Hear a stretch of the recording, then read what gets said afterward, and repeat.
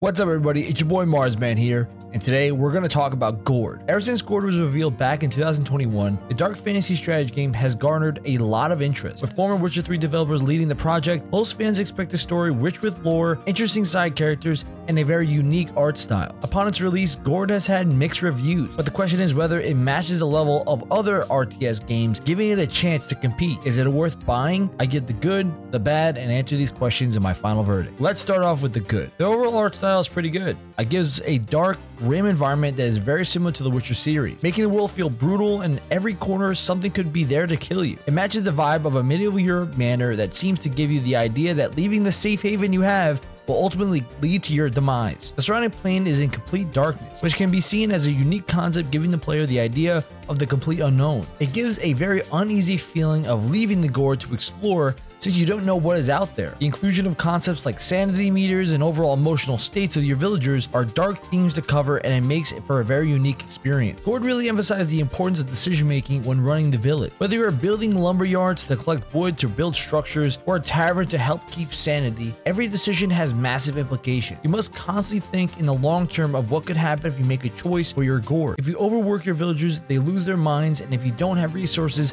then you won't survive long. It's a give and take and I'm glad to see see the developers put the effort in to give each choice some weight behind it. In RTS games, the decision making process should always feel important not put on the back burner. The level design was overall solid feature. Each scenario you face has a map with different obstacles that you need to face with your Gord. The trick is to get resources and navigate the surrounding areas trying to keep everyone alive. Even if they have a similar look, each area you travel to with your villagers is unique and gives the players a new arena to play in. Keeping with the dark fantasy environment, Covenant Games did a good job here. But with the good, we have to talk about the bad. The overall story of Gord feels bland. The basic concept is that you are working on behalf of the king to organize a territory that was recently conquered. You need to continually find a way to develop the territory to organize it for the crown and along the way, you face many obstacles from bandits to monsters. Your Gords are essentially fortified manors that are used to house your villagers and develop a stronghold. The story is honestly just bland. Other than seeing some monsters as you expand, the characters are not unique, the challenges are constantly the same, and each scenario feels bland. There are moments where you need to sacrifice villagers to the demons to move past other areas, but we're unable to since we don't have any children to sacrifice. Why can't there be more story elements as to why these demons are infested in these areas? Give us a reason why certain characters are motivated to do certain things. It feels like in one way the actions of the gameplay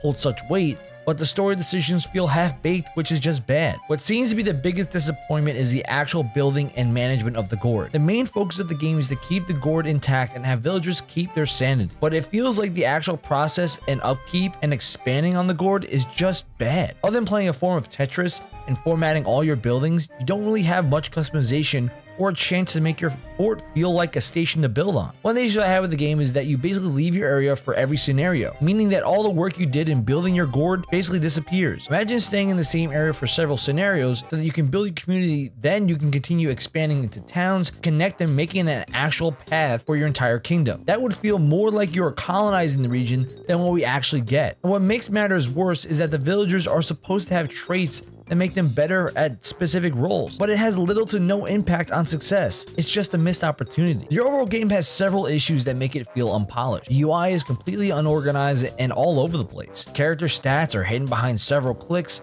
and the information for resources are extremely small that anyone can miss. Combat aspects of your villagers are horrible, making them seem like not a single person has ever held a cutting tool in their life. Everything from combat to selecting a villager is sort of delayed and not crisp. There were times I was trying to command units to move away from danger and each time I did, they refused to listen. I did not know that villagers had a stubborn mechanic because literally they would not listen to me daily. There were so many smaller aspects of Gord that felt were just untouched or left alone by a developer. Overall, Gord feels like a disappointment. Sure, the art style and the level design were solid in its features, but there were way too many problems to make it an overall positive experience. The bland story and gameplay felt uninspired and rushed with no real weight behind the execution. It really felt as if there was no actual polish in the final product with issues to standard gameplay components. I'd give Gord a 5 out of 10. It never really lands on any of the aspects they had set for themselves, and the few mechanics that they attempted to set th themselves apart actually hurt them in the long run. I would not buy Gord now, mainly because it feels like there were way too many issues with the game